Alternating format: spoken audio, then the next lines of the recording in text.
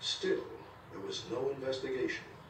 We knew then, when we read Dr. Butz's statement, it had to go, it had to go on. So we found out what happened. Ladies and gentlemen, this is Mrs. Ann Warsaw, here this morning to present evidence to this grand jury for the purpose of Ann Wasser now tried another approach. She appeared before a grand jury as a public citizen and pleaded with them to order an inquiry into her death. I was nervous when I went into the grand jury. I had never seen a grand jury in my life. What is the basis for that? Is this a personal feeling? It's uh, to cover up the fact that an autopsy was not done February 5th. They were nice people.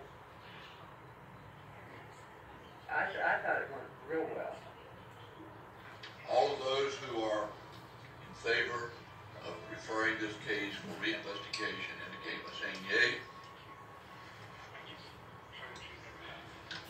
Those opposed